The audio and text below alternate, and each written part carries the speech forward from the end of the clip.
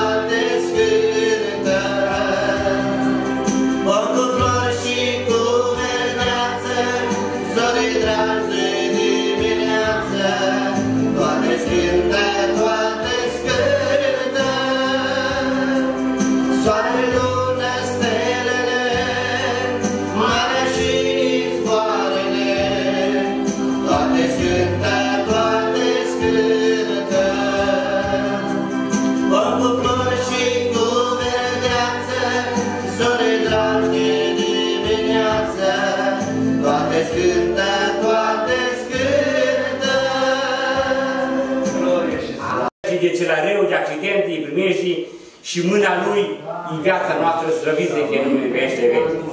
Cântăm o cântare când ne rugăm, spune că stăm de vorbă cu cerul, cu Creatorul nostru, spune că El ne ține de mâna dreaptă, ne păzește de tot ce este rău. Așa cântăm, slăviți să fie numele vește veci. Oare de câte ori ne văzut Dumnezeu până aici și ne ține de mână, mai noi n-am luat aminte, slăviți să fie numele vește veci. De aceea vreau să-i mulțumesc Domnului pentru marea lui bunătate și îndurare, că și până aici El ne-a purtat de grijă mie. De aceea, dacă vă îndemn, dacă la fiecare de aici vă purtat Domnul de grijă până aici, vă rog să-i mulțumiți din toată inima Domnului, că pentru că El este îndurător și milostiv, îndelung răbdător și bogat în bunătate, care nu se ceartă fără încetare ca noi și nici nu ține mânia pe vecii ca și noi. Slăviți să fie numele Dumnezeu. De aceea vrem să-i mulțumim în dimineața aceasta și vă cer ajutorul Domnului, așa cum este în picioare pentru suflet. Slăviți să fie numele Dumnezeu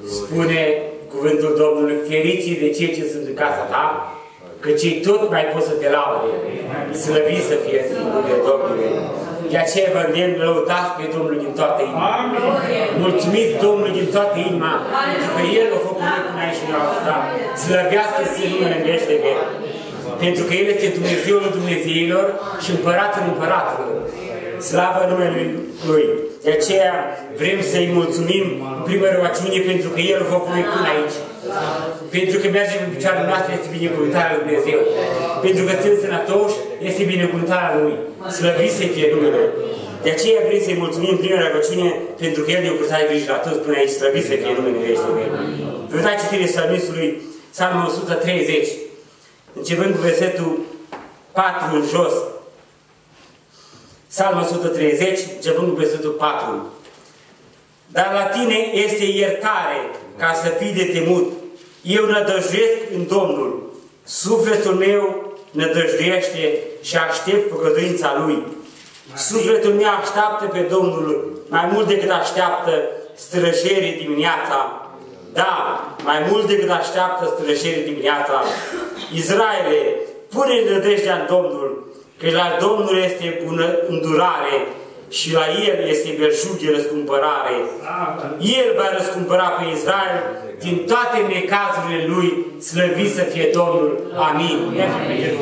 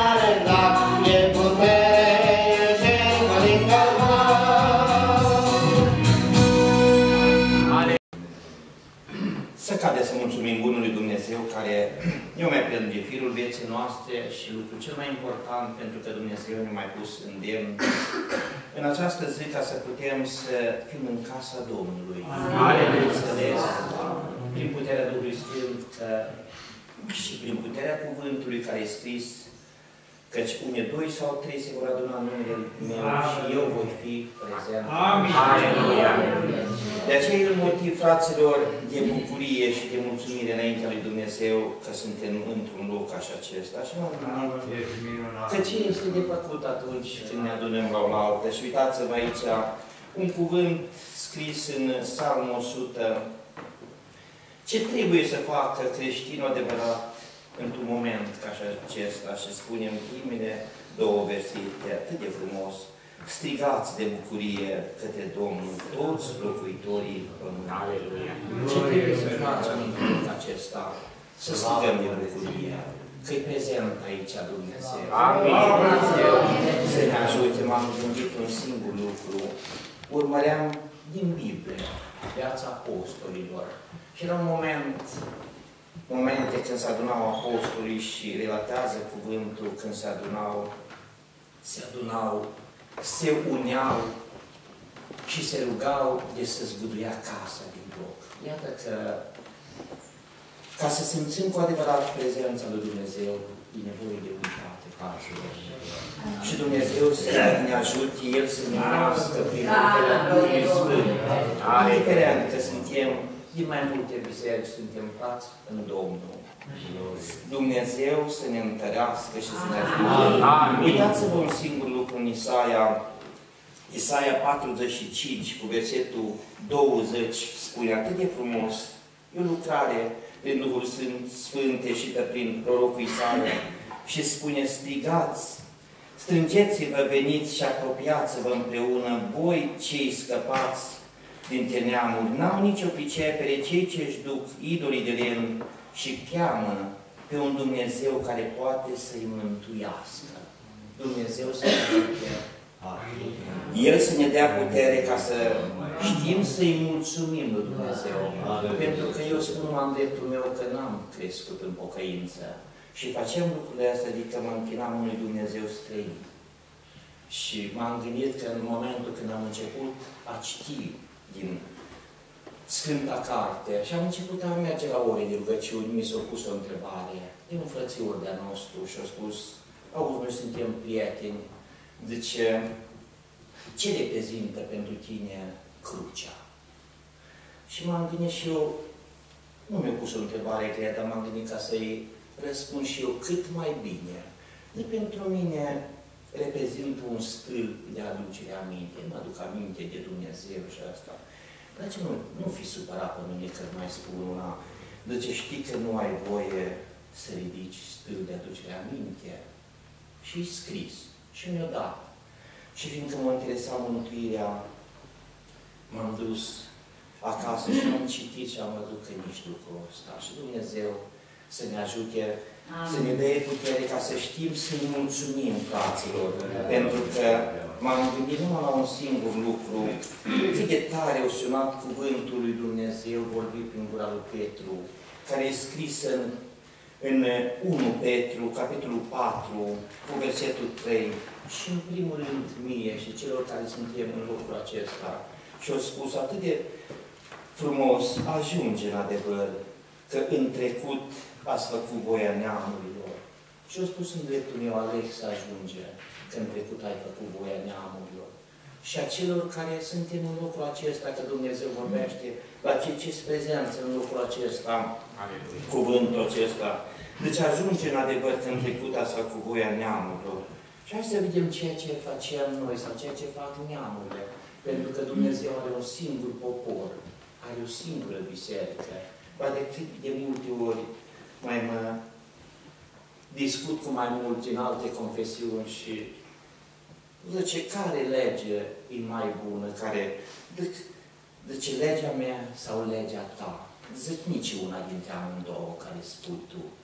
Legea lui Dumnezeu e cea mai bună și Biserica lui Dumnezeu zic, e scrisă în Biblie, care de clar și de slușit Dumnezeu, ceea ce a rânduit în biserică, cercetează cuvântul, cercetează biserica în care te afli. Și dacă îi scrii, dacă se află ceea ce e în cuvântul lui Dumnezeu, și le dau capitole și versete, și zic atunci pot, putem să mai discutăm. Și uitați-vă ceea ce face neamurile și ce facem noi unii dintre noi, în primul rând eu. Deci ajungem la de că în trecut ați făcut voia neamului și ați trăit în desfriu, în pofte, în bețit, în ospețe, în chefuri și în slujiri idolești neîngăduite. Ajunge, omule, întoarce-te și m-am gândit numai la îndemnul care Dumnezeu ne-a vorbit prin Duhul Sfânt. Și ne-a spus atât de frumos că Dumnezeu ne iubește și ne vrea sufletul. Și de asta vine acest cuvânt și spune, ajunge omule. Și ne spune la fiecare în parte, ca să veghem în privința aceasta, ca nu cumva să ne întoarcem în aceea moțiune din nou. Dumnezeu să ne întărească. Amin. El să ne ajute ca să putem să facem voia Lui. Amin. Uitați-vă. În versetul 7, tot în capitolul acesta spune atât de frumos versetul acesta, zice, sfârșitul tuturor lucrurilor este aproape. Fiți înțelepti, dar și vegheați în vederea rugăciunii. Zice, sfârșitul lucrurilor. Dumnezeu să ne ajute vedeți un singur lucru. Că mulți se duc la o vârstă tânără. Nu putem ști când e ceasul plecării noastre pe pământ. Asta nu îngăduit Dumnezeu. Că vedem că unii depășiți de 80 de ani, alții la 40-50 de ani. Și Dumnezeu m-am gândit că, zice că și în ceasul al 11-lea nu-i târziu omul să se întoarcă, dar nu știi care e ceasul acela al 11-lea. Poate al 11 poate să fie pentru mine în această clipă. Poate să fie pentru unul dintre noi care suntem în acest loc. Și Dumnezeu să ne întărească. Zice, sfârșitul tuturor lucrurilor este aproape. Fiți înțelepți, dar și vegheați în vederea rugăciunii. Mai pe sus de toate să aveți o dragoste fierbinte unii pentru alții, căci dragostea acoperă o sumedenie de păcate. M-am gândit la Apostolul Ioan, Apostolul Iubirii, care descrie cel mai frumos pe Dumnezeu și spune că Dumnezeu e dragoste. Și cine are pe Dumnezeu, are dragoste. Și chiar discutam cu mai mulți ne Dumnezeu îmi punea un cuvânt să vestesc din partea Lui. Și spuneau, zice, toți suntem creștini. Dar zic, nu te supăra. Îți spun o întrebare. Ce lipsește din inima creștinului în ziua de astăzi? Și când le spunem acel verset că Dumnezeu e dragoste și cine are pe Dumnezeu are dragoste, sta să uita lumea la mine. Păi dacă am dragoste, cum pot să-l mai urăsc pe fratele meu? Cum pot să-l mai fur? Cum pot să-l mai înșel? Cum pot să-l vorbesc de rău? Dumnezeu să ne întărească. El să ne ajute să putem să facem voia Lui. Haideți cu toți împreună, că n-ar vrea să fiu lung în vorbire, ne ridicăm cu toți împreună. Și voi da citire la Psalmul 116, după care ne vom duce pe genul sau cum de obicei în adunare, Așa cum stăm. așa cum stăm pe picioare. Și ne rugăm Domnului ca Dumnezeu să aducă o eliberare în inimile noastre, să aducă unitate. Și în continuare, El să fie la cârma vieții noastre, să ne dea putere. Amin. Căci despărțiți de El nu putem face nimic. Uitați ce frumos psalm, ce rugăciune, atât de frumoasă spune, iubesc pe Domnul căci El aude glasul meu, cererile mele.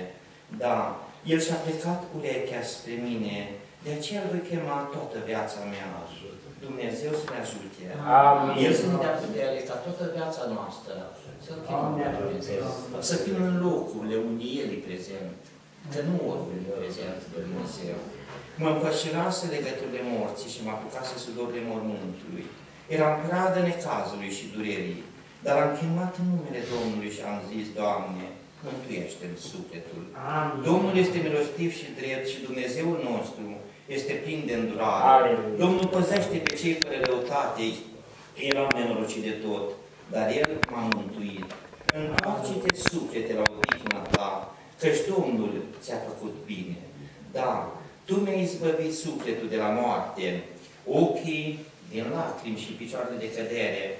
Voi, înălța, voi umbla înaintea Domnului pe pământul celor vii.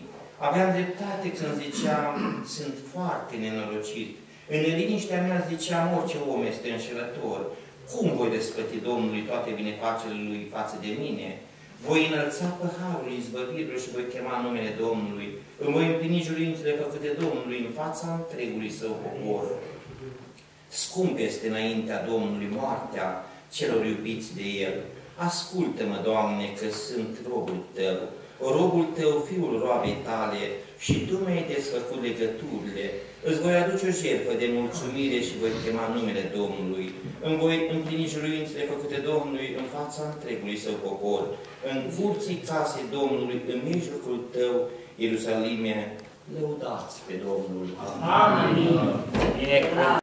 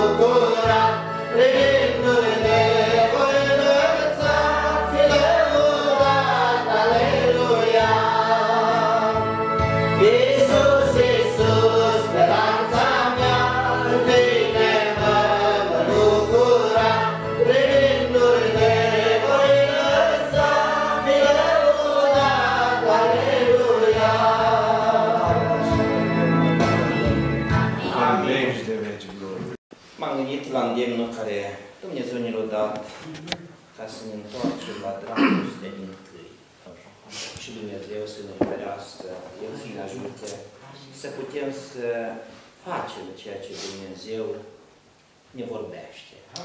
Fie că ne vorbește prin cuvânt, fie că ne vorbește prin Duhul Său cel Sfânt, eu știu un singur lucru. Când mă duc într-un loc ca și acesta, știu că Dumnezeu îmi vorbește. Îmi vorbește prin cuvânt, îmi vorbește printr-o cântare. Și pentru ce? Pentru că mă iubește și că îmi vrea binele. Vrea să-mi satisfacă sufletul. Și Dumnezeu să ne ajute. Și m-am gândit la Apostolul Ioan, Spune atât de frumos, aș vrea să dau citire la câteva versete și spunea vestea pe care cuvântul e scris în 1, Evanghelie. Întâia epistolă zopolinicească al lui Ioan, capitolul 1, cu versetul 5 începând. Și vreau să dau câteva versete din locul acesta. Deci vestea pe care am auzit-o de la el și pe care vă o propovăduiesc e că Dumnezeu e lumină și în El nu este întuneric. Și m-am gândit tot la lucrare că Dumnezeu ne-a pus în față și ne-a spus că El nu s-a schimbat. El e același. M-am gândit că dacă El e același, cu cenicii Domnului, era momente în care cereau vindecare și Dumnezeu i-a ascultat. Și ne-am pus întrebarea cât de multe ori stăm și ne rugăm. Punem pe cineva în fața Domnului, mai și tot timp. Și parcă cădem într-o deznădejde și ne punem întrebarea fiecare în dreptul, oare de ce Dumnezeu nu, nu ne ascultă? Dar ar trebui să ne punem întrebarea, nu cumva noi ne-am schimbat și nu suntem aceiași care am fost la început. Pentru că Dumnezeu spune că El nu s-a schimbat. El e același. Și ar trebui să fim și noi aceiași, pentru că Dumnezeu e lumină și El nu e întuneric. Să vedem cine vorbește în continuare. Dacă zicem că avem părtășie cu El și umblăm în întuneric, mințim și nu trăim adevărul. Zic ca Domnul să ne dă putere ca să umblăm în lumina Lui. Totdeauna în lumina Lui. Fiecare pas în fiecare zi să ne gândim, Doamne, oare e voia Ta să o fac sau nu? Dar dacă umblăm în lumină, după cum El însuși este în lumină, avem părtășie unii cu alții. Uitați-vă un singur lucru aici, ceea ce scris. Am dat citire numai jumate versetul. Ca să putem să avem părtășie unii cu alții, ca să putem să ne iubim unii pe alții. E nevoie să umblăm în lumină. Zice, dacă umblăm în lumină, după cum El însuși este în lumină, avem părtășie unii cu alții. Și sângele lui Iisus Hristos, Fiul Lui, ne curățește de orice păcat.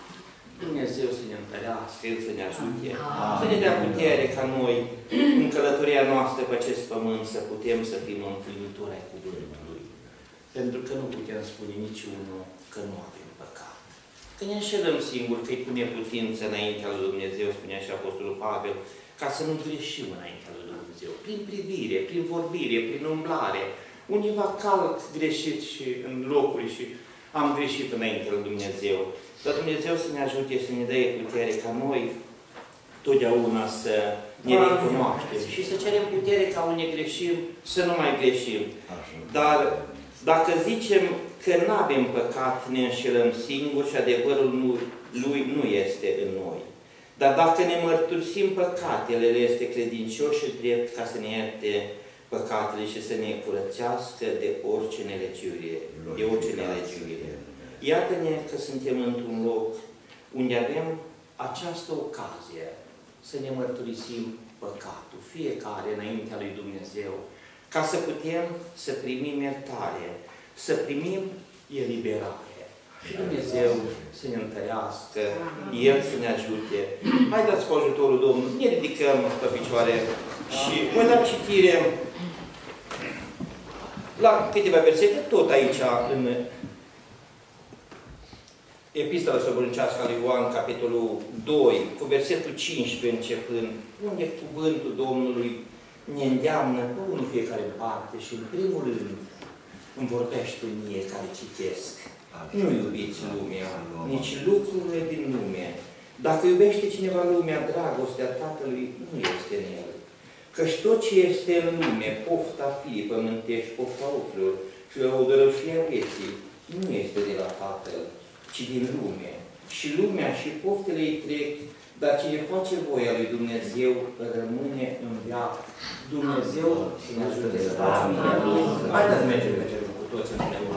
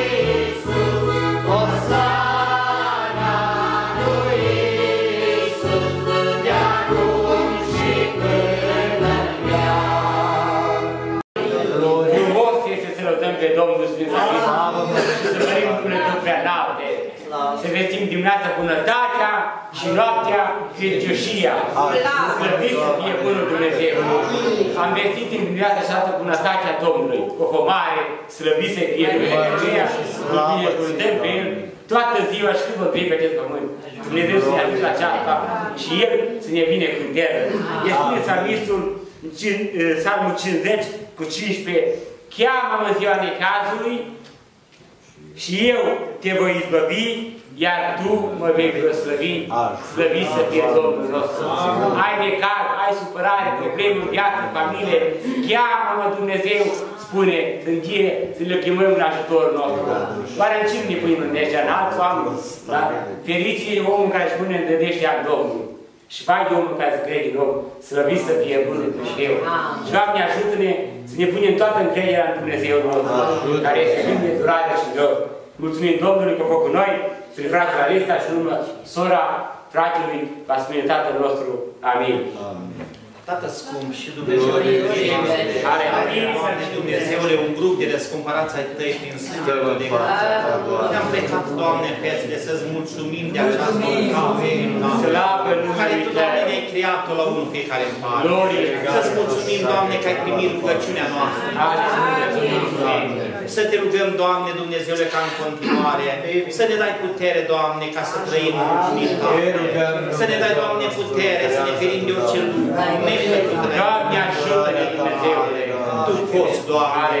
Noi știm că fără ajutorul Tău și fără putere din puterea Ta, e cu neputin. Așa este, Ajută-ne, Doamne Dumnezeule, ca să lucrăm cu talentul care Tu, Doamne, ne-ai dat. Ajută-ne, Dumnezeule! Tu ne-ai chemat în vie ca să lucrăm. Dumnezeule, momente în care să aducem rod în viața ta. Dă-ne putere din puterea Ta. Cum Tu, Doamne, ai dat ucericilor Tăi altă dată, această putere așteptăm și noi în timpul de acum. Noi rămânem încredințați pe brațul Tău și știm că numai Tu, Doamne, ne poți ajuta și ne poți da putere în călătoria noastră pe acest pământ ca să putem să ajungem la locul care Tu, Doamne, l-ai pregătit pentru noi. Rămânem încredințați pe brațul Tău, îți mulțumim, Tată, Fiule și Duhul Sfânt. Sfințul Vie împărăția Ta, facă-se voia Ta, precum în cer, așa și pe pământ. Pâinea noastră, cea de toate zilele, dă-ne nouă astăzi și ne iartă nouă greșelile noastre, precum iertăm și noi greșiților noștri, și nu ne duce, Doamne, în cale de ispită, ci ne mântuiește de celor rău, ca Te este puterea și slava, în veci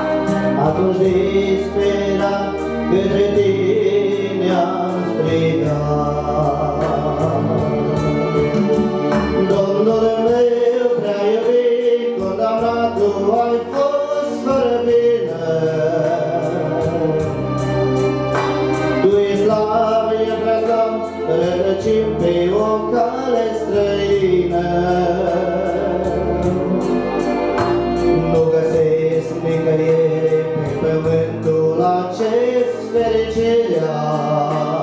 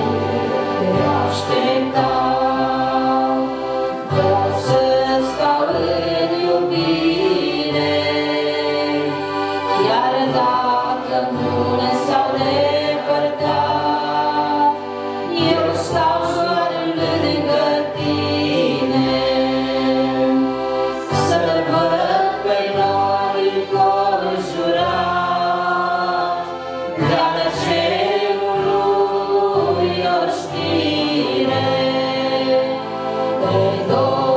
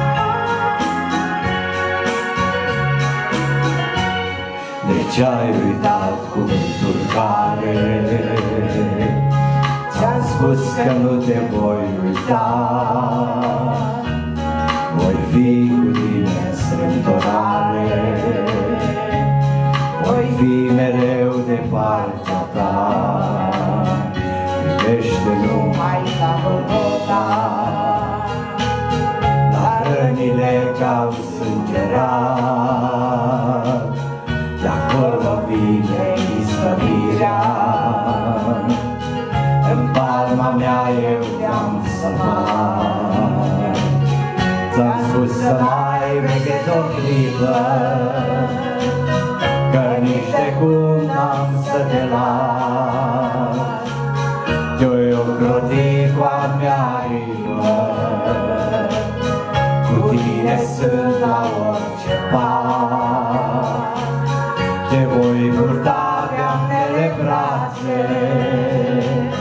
Și mângâiere vreau să-ți dau.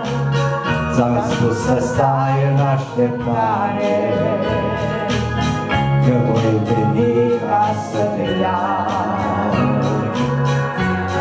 atunci mereu păstrează Credința ta și al tău cuvânt. Prin tot ce treci aici veghează. La orice pas de acest pământ. Eu sunt cu tine, nu te teme. Și atunci când toți te-au părăsit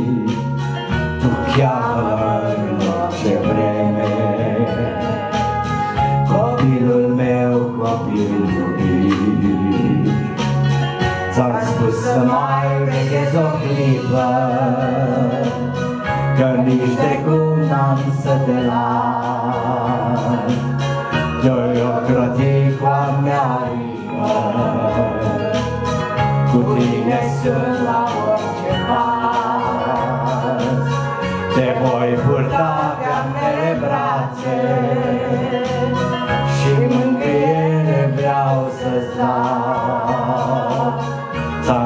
să stai în așteptare, Că voi veni ca să te iau. Ți-am spus să mai veghez o clipă, Că nici de cum n-am să te las. Că-i ocroti cu a mea ribă, cu tine sunt la orice pas. Te voi purta pe ambele brațe și mângâiere vreau să-ți dau. Ți-am spus să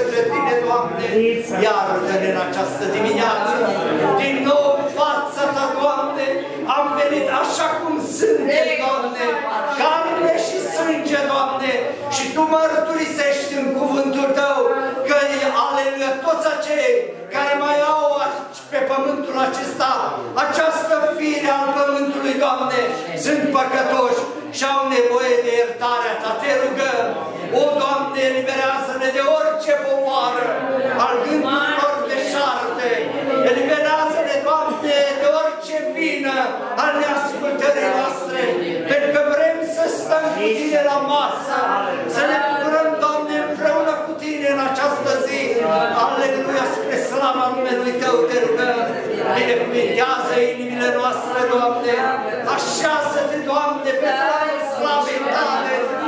Aleluia, Tu, Doamne, al veșniciei noastre, ca să ne bucurăm, nădăjduim neîncetat, că în Tine, Doamne, și Harul Tău vom avea, Doamne, aleluia, prin iubirea Ta mare, în acel loc făgăduit de Tine în ceruri, o, Doamne, aleluia, cu Tine împreună, zilele nesfârșite al veșniciei, bucuriei în slava Ta.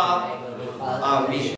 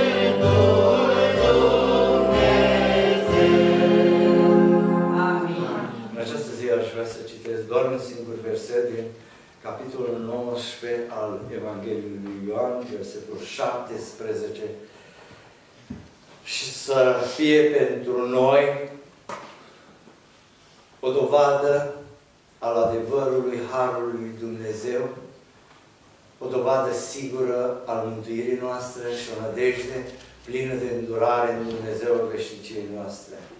Iisus, ducându-și crucea, a ajuns la locul zis al căpăținii, care în evreiește se cheamă Golgota.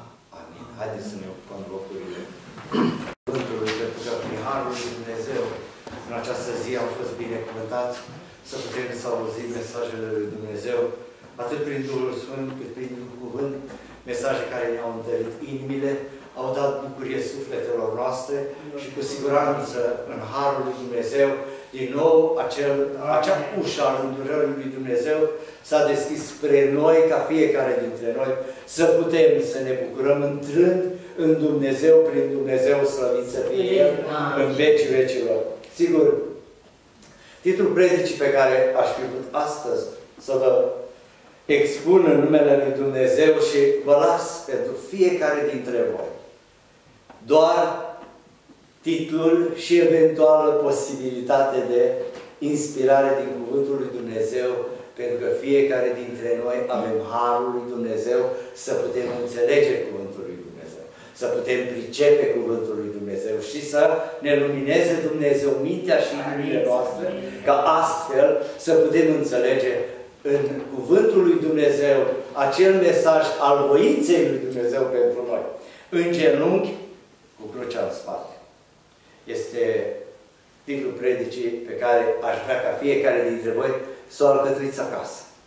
Să vă gândiți că Isus a luat o cruce. O cruce care n-a fost crucea lui. N-a fost păcatul lui acolo. N-a fost nimic. Ceea ce ar, ar fi trebuit să-l condamne, să poarte acea crucea grea și plină de a tot ce ar putea exista mai rău și mai urât în lumea aceasta. A luat. Dar la un moment dat, acest Fiu de Dumnezeu, sub povara atât de apăsătoare al crucii suferind, a avut nevoie de un ajutor. Nu scrie în cuvânt, nicăieri, am căutat și am încercat să găsesc, nu scrie că ar fi căzut. Dar a ajuns la un moment dat Iisus să aibă nevoie de ajutorul unui om și acest om era Simon din Sirena, uh, Sirene, cel care, până la urmă urmei, l-a ajutat pe Mântuitorul nostru să-și ducă crucea până sus, pe dealul Golgotei. Și acest ajutor pe care Iisus l-a avut din partea unui om, astăzi e dovada siguranței că la crucea ta, cea care o porți, la crucea pe care Iisus te-a chemat să o porți în viața ta, pentru că așa scrie Cuvântul lui Dumnezeu, rostit de însuși gura lui Iisus. Fiecare să-și ia crucea și ce să facă? Să mă urmeze. Dar cu siguranță, acel care a avut nevoie de ajutorul unui om, va înțelege și nevoia ajutorului pe care trebuie el să-ți dea la crucea pe care trebuie să o port, slăvit să fie numele Lui Dumnezeu. Aș fi dorit să mă bazez pe o întâmplare pe felul în care un apostol a fost chemat la Dumnezeu. Pe Pavel. În faptele, în capitolul 9, descrie felul în care Pavel s-a întors la Dumnezeu. El, cu siguranță, cu mulți oameni astăzi, și se, zic, se numesc creștini, așa cum aminteam și fratele ales. Se numesc creștini, dar poartă ei cumva crucea lui Hristos? Pavel purta crucea lui Hristos, avea o râmnă pentru Dumnezeu, dar acolo în râmna aceea lui pentru Dumnezeu era ură, era sânge, erau păcatele pe care le săvârșea cu un gând prin care credea că astfel îi aduce lui Dumnezeu onoare. Dar n-a fost așa. Și lumea de astăzi poartă aceeași povoară al faptelor, al neascultării, al încrederii în propriile sale forțe, cum a purtat și Pavel, crezând că el este sub povoara pe care Dumnezeu a pus pe umerii lui, dar nici de cum n-a fost. A trebuit Pavel să cadă înaintea lui Dumnezeu. Și atunci a căzut cu fața la pământ. Mai mult decât atât. El avea o vedere foarte sigură asupra lumii. A trebuit să orbească, să nu vadă, ca să poată Dumnezeu să-i deschide ochii înspre slava și măreția cea reală și adevărată a lui Dumnezeu. Mai târziu, Apostolul Pavel realizează că de fapt a sosit momentul acolo pe drumul Damascului, într-adevăr să se încarce cu povoara iubirii lui Dumnezeu pentru Dumnezeu și aceasta însemna crucea pe care trebuia să poarte el. Și crucea pe care a luat-o Pavel și purta ne învață și pe noi astăzi. Știți ce mărturisește el despre sine? Mă apasă spune în cuvântul său adresat nu odată în scrisorile sale către biserici. Mă apasă ce? Grija pentru biserici. E primul lucru pe care ar trebui să avem fiecare dintre noi din crucea aceasta pe care să o purtăm în lumea aceasta noastră. Mă apasă grija pentru biserici. Și cum l-a păsat?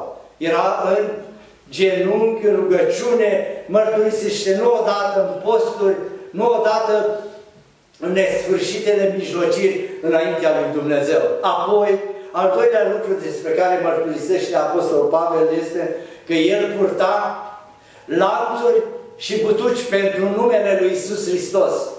Astăzi e greu, rar se întâmplă să vezi pe cineva în lanțuri sau în butuci pentru că este condamnat după legi, mă rog, poruncile lumii acestea. Nu, dar tu poți purta lanțurile iubirii pentru Dumnezeu și butucii statorniciei. Poți purta în picioarele tale aceste butuci al statorniciei credinței tale în Dumnezeu. Și Dumnezeu te va binecuvânta. Să fie această statornicie, acest lanț al dragostei pe care îl purtăm, să fie într-adevăr o dovadă sigură și sfântă că suntem ale lui urmașii lui Hristos, purtând în iubirea noastră pentru El acea cruce pe care El a chemat să o purtăm. Apoi, Apostolul Pavel, Dumnezeu, atunci pe drumul Damascului, l-a orbit. I-a pierdut vederea.